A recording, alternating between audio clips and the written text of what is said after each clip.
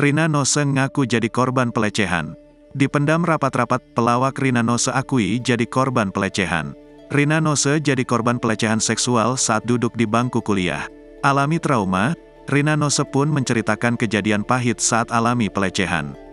Dikutip dari YouTube stasiun TV ofisial, Kamis, tanggal 23 Februari tahun 2023, Rina Nose mengaku rasa traumanya mulai hilang seiring berjalannya waktu, cuma kan kalau trauma itu ngilangnya seiring waktu tiba-tiba lupa aja gitu, jelas Rina.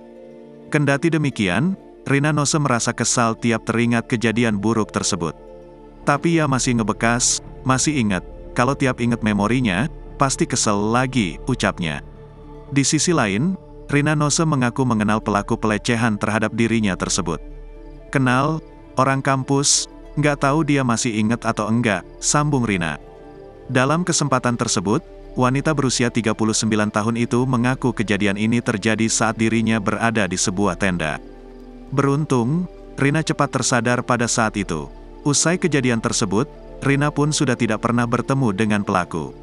Rina juga mengaku kesal dan marah dengan pelaku apabila bertemu. Ia tetap merasa emosi meski rekan-rekannya berusaha untuk menenangkan dirinya.